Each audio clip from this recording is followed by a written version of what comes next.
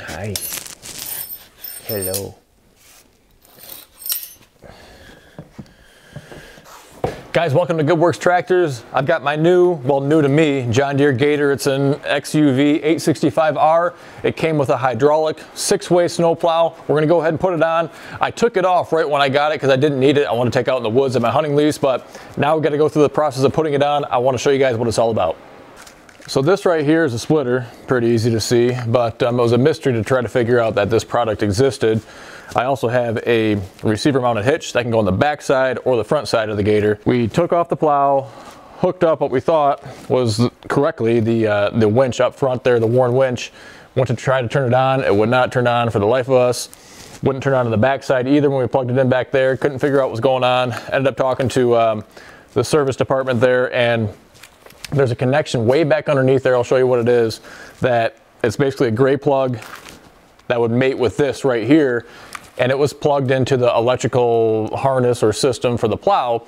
It had to be unplugged and then re-plugged in to be able to use the, uh, the winch. So it gets kind of confusing, but what this thing does here is you can plug this into the one electrical connection that's on the machine side, and then you'll have the ability to connect the winch and the plow, so both are ready to go whenever you need them. It's going to be a lot easier to use this way without having to reach way back in there and, and try to uh, make that connection. Okay, so we're gonna put this plow on now. Taking it off is always easier than putting it back on. I am new to gators, okay? I'm new to how this whole system works, so it's kind of a newbie doing this, first time doing it. So if I can do it, you guys can uh, hopefully shorten your learning curve and get it done faster. So you can see this stand that's right down here, this parking stand. This plow actually did not have that when I bought it, so I just got that in. I actually, when I took it off, I kind of manhandled it and blocked it up on wood. So I put that stand in there, and I think I'm gonna have to make some adjustments because the point is to get these points right here, these arms, pushed back in here inside the brackets on the, the gator side. And then after you do that, you can see there's a groove right here. There's gonna be a pin that's tucked back in there. It's gonna fit around that pin, and then we're gonna take a little bracket here, and we're gonna lock it out and just kind of lock it right in place. You'll see these other pins, and one of these holes here, I'm not sure which one, they're gonna lock out, and that's how it's gonna stay attached to uh, the gator itself. Basically, I'm gonna try to uh, lower this, this mechanism down by adjusting the parking stand, because again, these arms here have to come down, I don't know, three inches or so, all the way down to here. That way they can slide or I can drive the gator forward. That way that silver pin that's right there ends up right where the slot is here.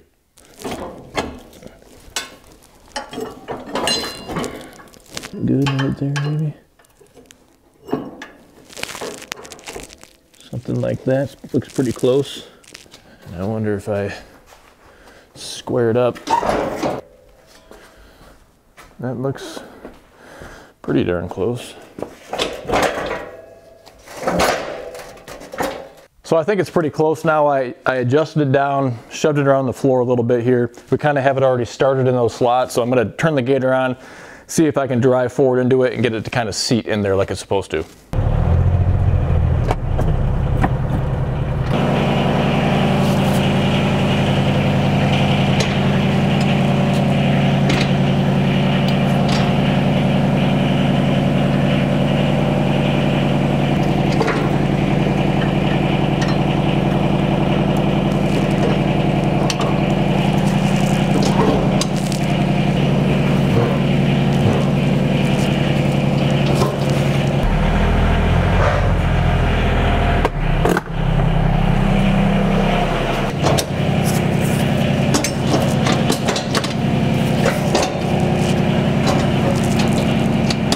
Just got to go further in there.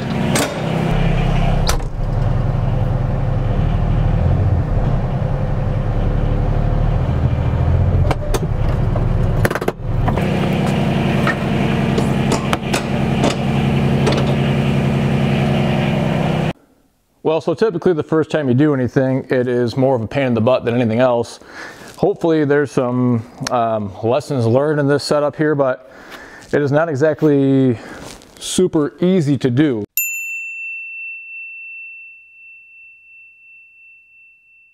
Uh, what I'm finding out, I mean, getting these pins to align and getting everything pushed back in there, when I drive the gator forward like the instructions suggest, it just kind of wants to uh, push the whole plow assembly forward. And you're gonna see here, this back hydraulic electric assembly, it's got play, right? So it does not stay in one position and so it kind of either sags down or you can prop it up too much. Um, it does not instruct you to hook up the electrical connection until you have made uh, the physical connection and, and locked it in here. So, you know, I'm kind of going with what it's saying on here. The next step though, if I don't get it connected, and it's only been five minutes, I guess, or so that we've been doing this, so it hasn't been forever, but it is heavy steel, so it's not a piece of cake to move around. But if that doesn't work, I'm gonna plug in this electrical harness here and see if we can fire it up and maybe get some leverage uh, to change an angle with the plow, maybe put some down pressure on it and get this to angle back a little bit and square it up. I don't know, we'll see.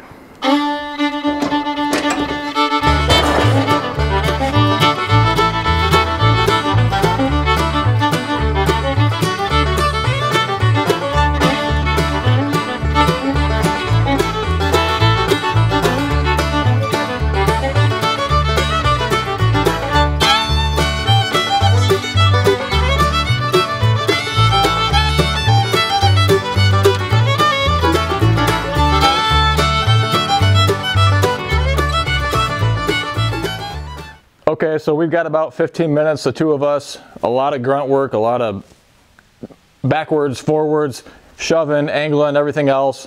And then when it kind of just went, it went. So we're gonna take it off again and then put it back on. I think it'll go a lot easier this time. We're gonna give it a shot. Uh, a couple things that we did, we moved this brush guard back. We actually didn't have it quite in the locked back position and so it was interfering, uh, making contact right here. So that was a problem. And then um, we kind of went through and there's different ways you can interpret the steps that are on these instructions. And so it was a matter of figuring out what the interpretation meant. So we'll kind of go through that here as we take it off and then put it back on again. Okay, so technical term for the slots that are back in here are called headgear slots. And then this is a receiver pin that's back here. So then you have your male end that slides in there, forks around the receiver pin, and then you've got, you can see the end of the pin right here. This is basically your retainer. That is what's gonna be spring loaded. There's one on either end and it pushes out and locks in place here. This is installing a plow on a Gator for the first time, take two.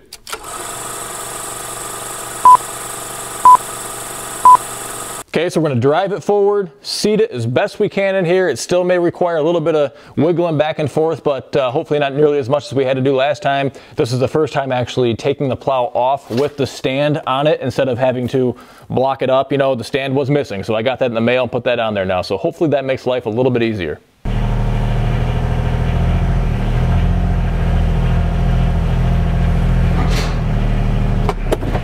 Hold on.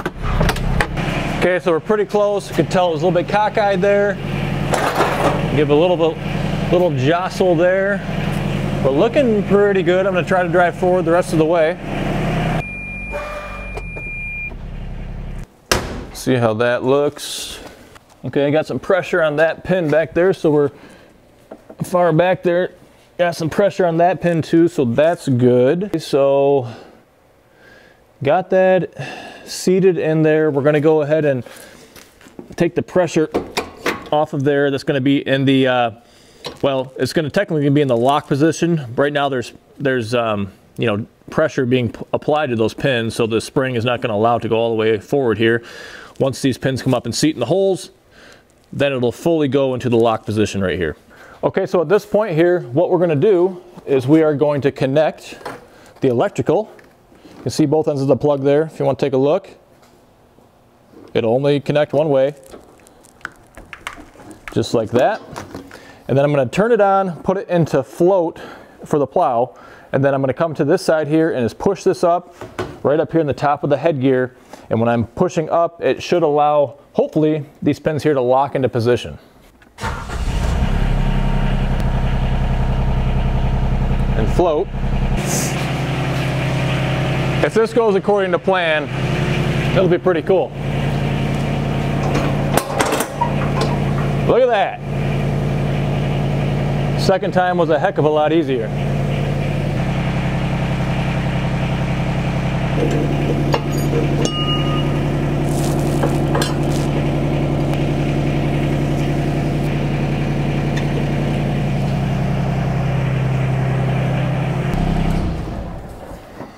That was about a hundred times easier doing it the second time and the only grunt force that we had to do was pushing up on the top of this headgear just to seat it there and that's right in the instructions. So it actually went according to plan, but hopefully this helps you kind of see and understand and visualize the process and shorten that learning curve and frustration.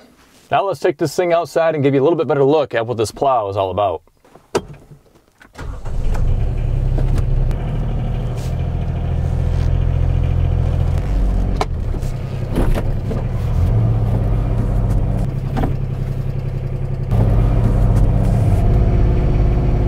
So the controller that's mounted inside the cab here has nine different functions as far as I can tell. Well, 10 if you include power on, power off. You've got an up, down, an angle left, angle right, uh, a closed V, an open V, and then you can just angle one side of that V or the other side. And then there's also float. If you put it all the way down and hold it for just a couple of seconds, it puts it into float, which means it relieves that downward pressure. So there's nothing wanting to dig into the ground.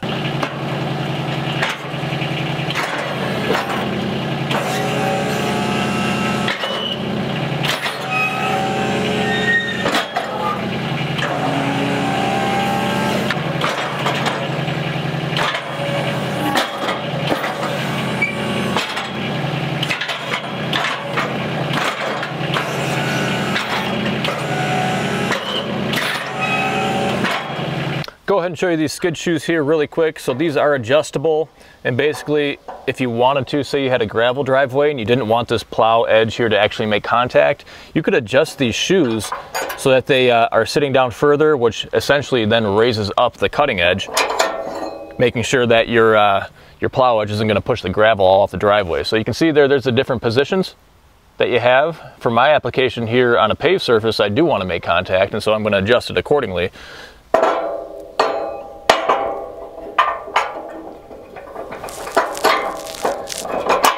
And being that this is the first time using this plow, I may have to adjust this a couple times to find that right sweet spot.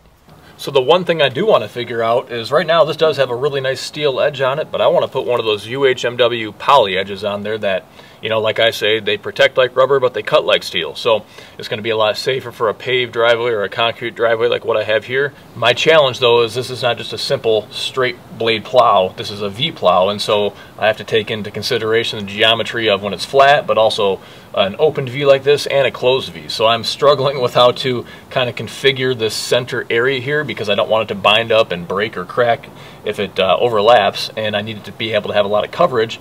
So I don't know what the right solution is at the moment. I'm almost thinking I get the poly, the UHMW as close as I can, somehow find a little bit of an extra rubber piece, maybe a little flap that's really soft and flexible and pliable and put that in the middle here on either end. That way it still kind of picks up the snow instead of leaving a windrow right down the middle of the line. The last thing we are doing here is putting the winch on the backside in the receiver mount back here. That's the really cool thing about having a receiver mounted hitch is that you can easily move it from front to back. We have a wiring harness on the backside with a red plug and so that's easy just to mate it right up to. Put it in the little one inch receiver slot or one and a quarter, whatever size that is, and away you go.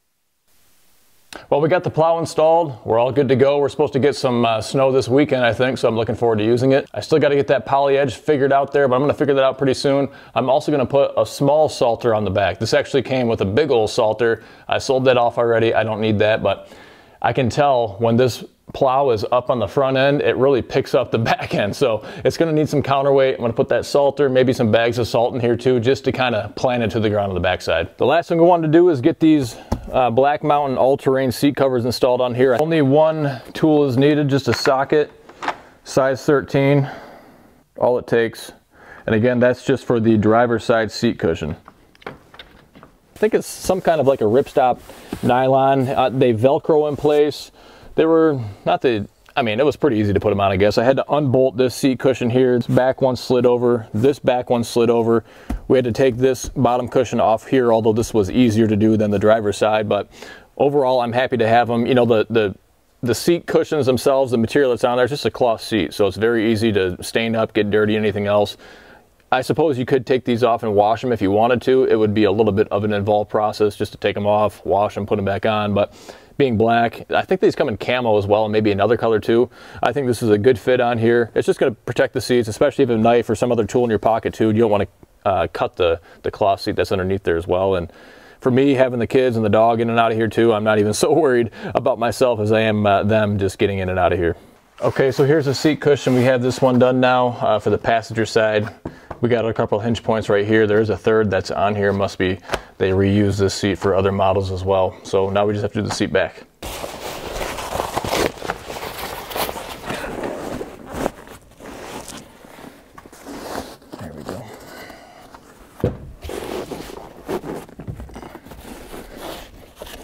And you can see here you do have some built-in attachment points as well to perhaps secure something to it. Oh, you coming up? You coming in? Can you do it? Can you come up? Oh, good job. That's your good girl. If you wouldn't mind, give me a thumbs up or even a thumbs down and also consider hitting that subscribe button right underneath the video. That would really help me out. And if you're interested in more information for cool stuff on gators, on tractors, on truck stuff, on trailer stuff, all sorts of cool stuff, read that description underneath the video. You'll have a lot of cool links down there. Well, until next time, stay safe. We'll see you soon.